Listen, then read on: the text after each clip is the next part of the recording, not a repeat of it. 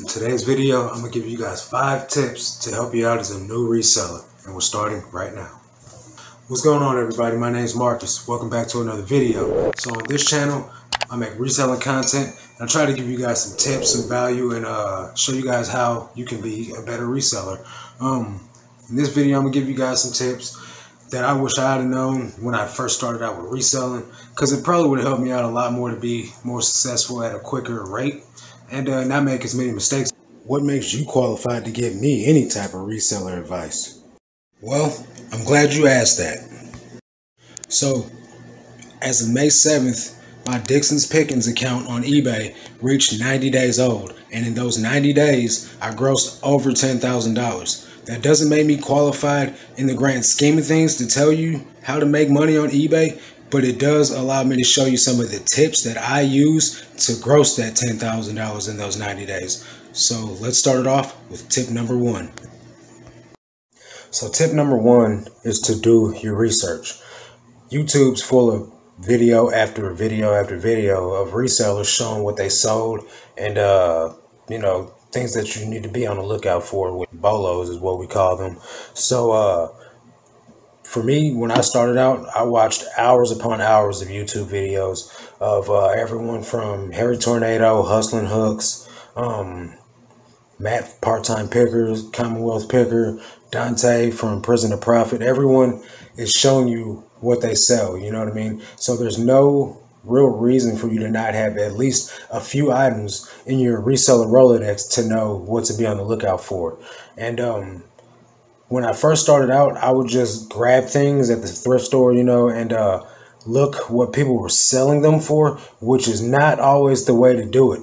Don't look at what someone's selling things for. Rather, you need to look at what they have sold for because the item is only worth what someone is willing to pay for it. So just because you have an item that someone's got listed for a lot of money, perfect example.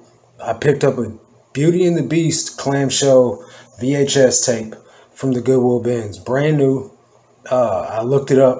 People were asking nine thousand dollars, five thousand dollars, six thousand dollars for this thing, but what it's selling for is between four ninety nine and nine ninety nine. So, just because someone's asking these astronomical prices doesn't mean that you're going to get these astronomical prices for things. So what you need to do is you need to do your research. Find out what items are selling fast and learn what the sell-through rate is. Now for me, I just simplify it down to this. Say there's a hundred of these items listed, but there's 1,000 of these items sold. That means this item's got a ridiculous sell-through rate and I'm going to buy it if the item has 100 listed and 100 sold. That's a 100% sell through rate. So for me, that's great. I'm going to buy that item. If an item has 100 listed and only 50 sold, that might be an item that you're going to sit on for a little while and you need to consider if you got the space and the capital to wait for that item to sell. You don't want to make this investment if you need your money back immediately. If you need your money back immediately, you need to go for the quick flips, things that are going to sell within a day to a week to a month. Even you know, uh, you don't want to be sitting on an item for six months when you need that twenty dollar investment back, if that's how much you spent, so to speak. So you need to know what's going to sell and how fast it'll sell, and if you can wait for that item to sell for a little bit longer for more profit, then go for it. For me, when I started out, I started out as a sneaker reseller selling hype sneakers, Jordans and, you know, Yeezys and things like that. And uh, I didn't have no idea what hard goods even meant, nonetheless, where to get them, you know. So um, I started out I live in a very small town and I was sourcing these hype sneakers online through the Nike sneakers app or just buying them on, you know, Facebook marketplace groups. And uh, sometimes I get ripped off. I got ripped off on Facebook. I got ripped off on Mercari. Uh, and, you know, by the time I got ripped off, you know, three or four times, I got real fed up with uh, taking risks especially with multi, you know, hundred dollar, you know, sneakers. These sneakers are not cheap, and then I'm getting ripped off for it. Now my money, my investments tied up in return uh, cases and things like that. So I started going to thrift stores and looking up items and you know buying them after seeing a few Harry Tornado videos, a few uh, Taco Stacks videos, and just, you know, guys that are going out, you know, thrifting. Paul Cantu was really one of the people that got me into thrifting clothes and uh, looking for vintage items and things like that, which I still don't find all that often. And I really don't like selling clothes. And if you don't like selling something, you're not going to enjoy what you do, so you're not going to do it that often. Although I have gotten past the um, initial phase of not enjoying selling clothes, I do it because some of them sell well and it's a necessity. So I do what I know I'm going to sell. I use the I use the philosophy that if I've sold it once, I can sell it again. Things like these Carhartt pants that I have that I've been selling, you know, a couple a week, you know, those things sell well and I will source them every time I see them. I will pick them up. Uh, which brings me to my second tip sourcing good inventory. You guys don't want to source horrible inventory. Let's say handkerchiefs, for instance. You get these embroidered handkerchiefs that has people's initials on them, and nobody's in the market for used handkerchiefs with other people's initials on them. But you find a bunch of them, and you happen to like handkerchiefs. That's probably not going to be a good investment. Case in point, I found a vintage Carhartt jacket at the Goodwill bins. I even put it in a video recently maybe a couple months ago. This Carhartt jacket would have sold a long time ago if it didn't have this guy Brian's name embroidered on the chest. Now, I went ahead and picked it up because I feel like at some point in time it probably will sell for the right price, but I've been sitting on it for a couple of months now. Now, just because it's a vintage Carhartt jacket does not mean that you should pick it up if it's got somebody's name embroidered on it. So that's just an example. Um, Another example, Pokemon cards. They're flying off the shelves right now. They're trending items. Um, you can sell a brand new box of unopened Pokemon cards within five minutes of listing it. I've done it before. So um, those are items you want to be on the lookout for. Jordans. Jordans are selling ridiculously higher than retail prices. When you buy those, they're going to sell for a good profit. Um, depending on which silhouette you get, Jordan 1, 4, um, 13 sometimes, uh, 5s, you know, 6s. Those Jordans are going to sell really well, especially Jordan 1s. That's just a really hot silhouette. People are really looking for it, and the bots buy them all up. So if you can get your hands on some Jordans uh, at a good price, you'll be able to flip them for a good uh, profit. Case in point, I got nine pairs of Jordans for $40 a piece from the Goodwill. I sold them all, and I my initial investment forty dollars on nine pairs of Jordans. I made nine hundred dollars profit off that investment, and it only took me about two months to sell each pair. Um, that's not a bad investment in my opinion, and it's a great return.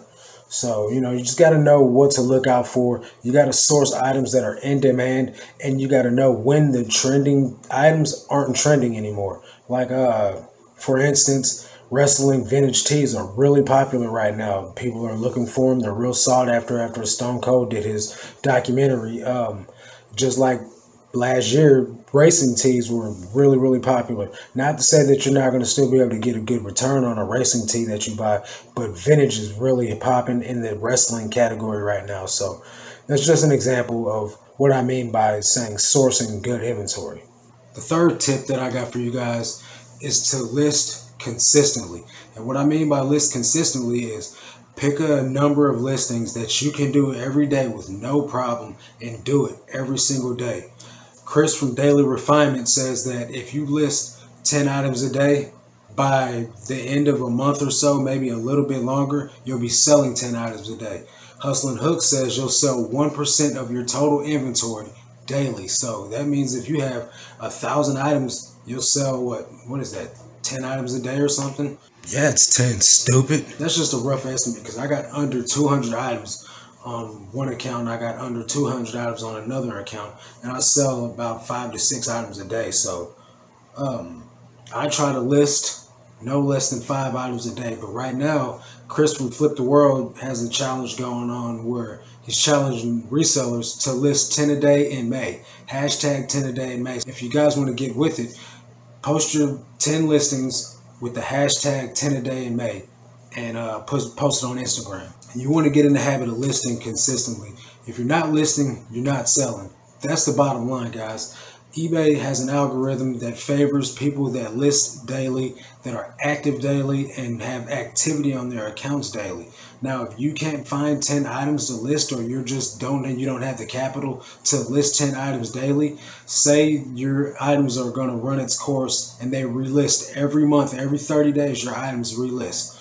If you come to the point where you're getting ready to relist an item in the listing and hit sell similar, keep the pictures or either take better pictures and uh, either leave the price what it's at, change the price by a couple of dollars, and then hit sell similar, and that'll be a brand new listing, but it'll be the same item. That's just a little tip that works really well for me. Um, try it, guys, and let me know in the comment section if it works well for you. Because I wish somebody would have told me this trick a lot sooner if you're not listing, you're not selling. So therefore, you need to list consistently to have consistent sales. So that brings me to tip four. Tip four is organization. Being organized probably doesn't seem like it would be that big of a deal, but trust me, guys, having an organization system in place is going to save you a lot of hassle and a lot of headache down the line. So, say for instance, you list this hat, right? And you put it somewhere and you forget about it. You don't inventory it as soon as you get done listing it, and you just let it sit somewhere and it gets lost and maybe even gets put back into your death pile. Now you make the sale for this item and you can't find it. You, you got to do a refund on this item for an item lost or broken. Now this option right here dings your account. eBay doesn't like when you can't fulfill an order because that's what they're there for. They're there for you to make orders and make them their money essentially. So if you take away from them making money, they're not going to show you favor anymore. Now that doesn't mean that you can't get it back, but you know when you do these things and it hurts your account, you get pushed down in the in the in the system. You know what I mean? They show favor to people that make them the most money as often as possible. So when you're giving refunds for things that are your fault or when you're canceling orders because you can't find the item or it's broken, that's going to hurt your account, guys. But when you have to cancel an order for something that is totally your fault, it's not a good thing. One of my tips that I can offer you guys is to start out small. Start with a bin system. I started out getting $3 totes from the Goodwill whenever I find them you know, find them with lids, you know what I mean? And I'd clean them out and I'd use them to store my inventory on. And I just put a letter of the alphabet on there. This is A bin, this is B bin, this is C bin, you know what I mean? And I'd start just stacking up bins and I'd stack them high and I fill them with as much inventory as I could. And um, that's just how I do it right now. I have a storage facility that I store all my stuff in. It's in the same parking lot of the building that I live in. Uh, so I don't have to go far. And I just store all my inventory in there and I use the custom SKU option uh, on my eBay and I just put the, the bin that it's in in my custom SKU option so when I sell something I know where it's at and I can go find it quickly. Um, now when I get bigger and I get more space I'll get shelves on casters that I can slide back and forth and I can move around like Cincinnati Picker does um, and I'll be able to store more inventory in less space and it'll be easier to maneuver instead of me having to move each individual tote to grab the tote that's underneath it that has the item in it that I need.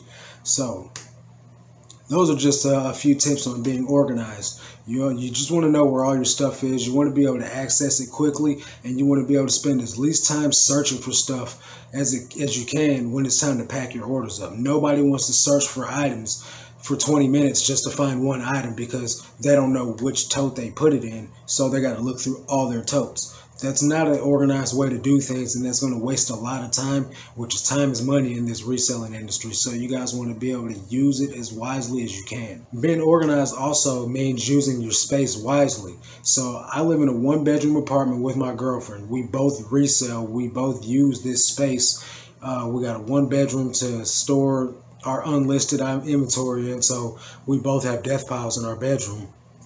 We do our packing in our bedroom, and we do our listing in the living room.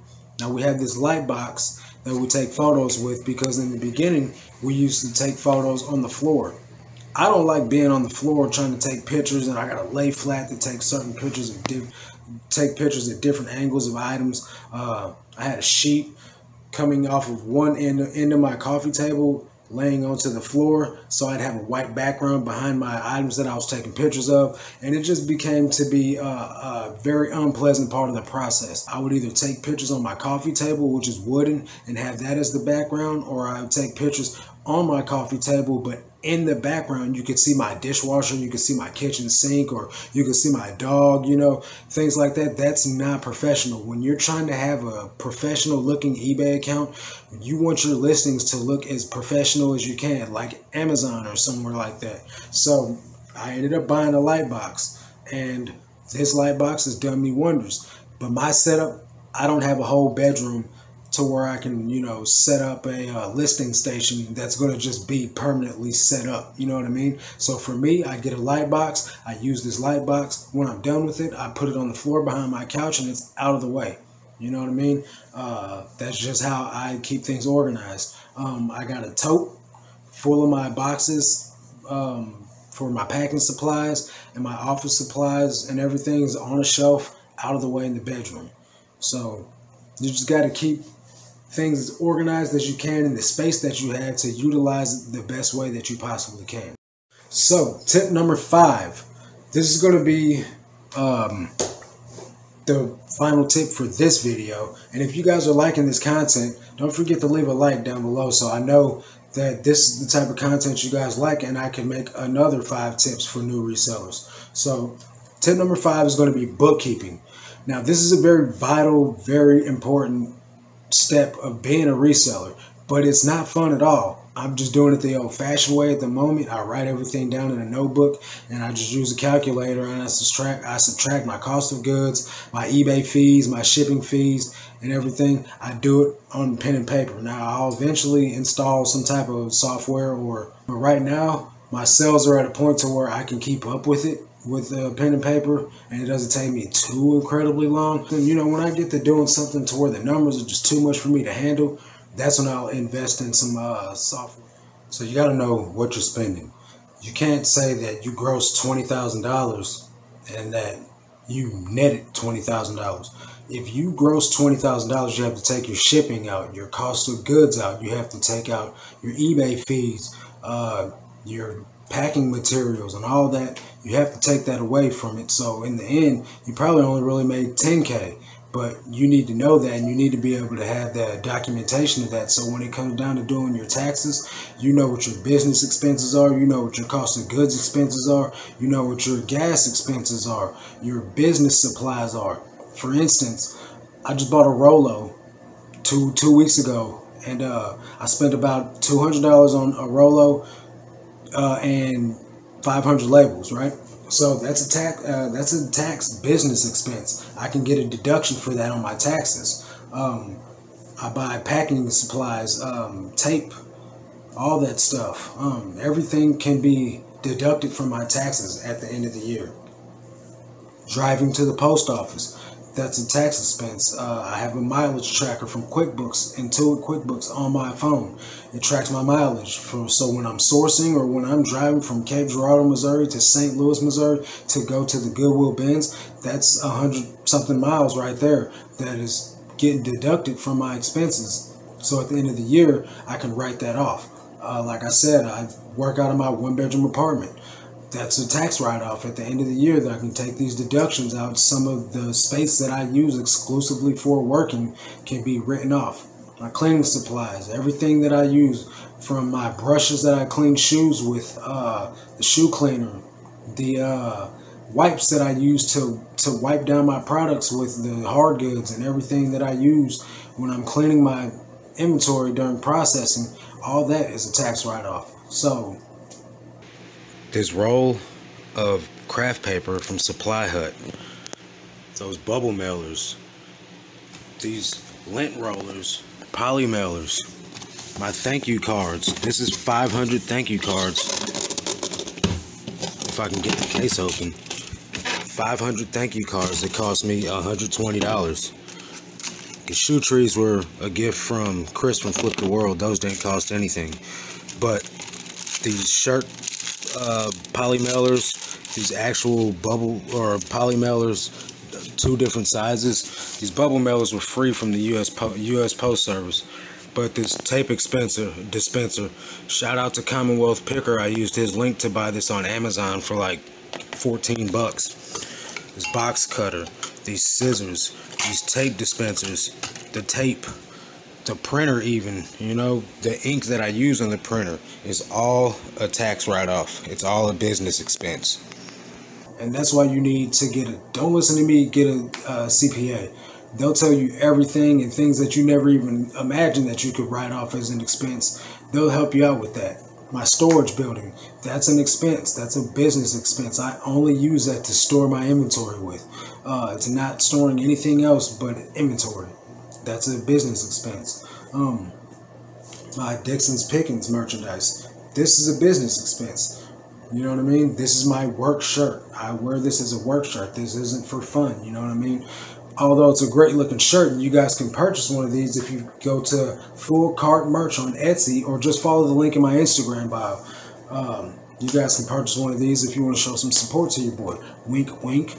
Um, other than that, though, man, that's pretty much uh, all the tips I got for you guys. If you guys did find any value out of this video, please leave a thumbs up or a comment down below. Let me know if you guys would like me to make another video with five different tips for beginner resellers. You know, I'm just trying to spread as much value as I can and help as many new resellers make some money starting out uh, as fast as possible because I wish that I would have had somebody to help, not necessarily hold my hand, but help me through this process uh, in the beginning. I got a ton of value from plenty of YouTubers out there, and I'm just trying to pay it forward with kind of a, a summary of uh, all the tips that I learned, because there's a bunch of them from all the different people out there, and I'm just trying to wrap it up in a nice little package and give back to you guys so that way I can help you guys on your reseller journey. So, if this is the type of content you guys like, consider hitting the subscribe button so you guys will get notified when I drop more videos if not, just leave a like on this video and when I make new content, it'll pop up on your home screen. You don't even have to subscribe. That's pretty much it, guys. I'll catch you guys on the next video. Until then, let's make this cash, guys. Peace.